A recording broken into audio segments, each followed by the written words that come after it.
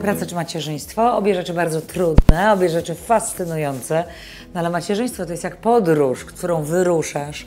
Podróż w nieznane, wiele zakrętów, pustyni, burz po drodze. E, Praca jest wyzwaniem fascynującym, ale zdecydowanie macierzyństwo jest trudniejsze. Czy trudno jest sprostać oczekiwaniom dzieci? W sumie dzieci cieszą się z wielu prostych rzeczy. Cieszą się, i nie mówię tylko o rzeczach materialnych, po prostu cieszą się z bycia razem, e, z podróży, z odpoczynku, z oglądania wspólnie filmu jakiegoś. Nie, chyba nie. Jeżeli dużo się rozmawia, jest się razem, znamy się przecież trochę, już 13 lat, to, e, to nie jest trudno sprostać oczekiwaniom e, dzieci. Tym bardziej, że dzieci chyba nie mają jakichś takich wygórowanych oczekiwań.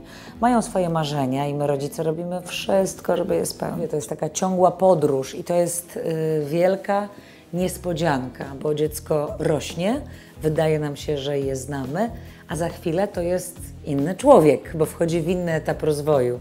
Zmienia się wszystko z każdym miesiącem, rokiem to już w ogóle, bo teraz to ja mam już dwójkę dojrzałych ludzi. Są wyższe ode mnie, bardzo mm, ciekawe świata, y, mają zdecydowane poglądy, bronią ich. No i to już są prawie dorośli ludzie, niestety. Po urodzeniu dzieci przez rok byłam z nimi, nie nazwę tego siedzeniem w domu. Bałam się tego powrotu, ale kocham swoją robotę, nie wyobrażam sobie życia bez niej. Bez dzieci też nie wyobrażam sobie życia.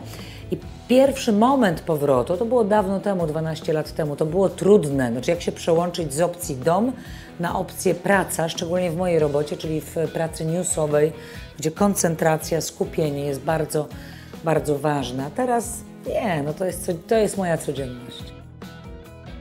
Czego się nauczyłam od swoich dzieci? Cierpliwości uczę się każdego dnia. To jest ta lekcja, którą odbieram. Uważności, takiej troski dużej, takiej mm, na pewno miłości. To jest y, największa lekcja miłości do dzieci. To jest, tego nikt inny nas nie nauczy. To trudno zrozumieć, inaczej to jest trudno przeżyć. Zwierzęta nam dają tę lekcję też, trochę na miastkę też tej miłości. E, ale mm, lekcja miłości nieustająca z wybaczaniem sobie, z tolerancją, ze wszystkim, co miłość znaczy.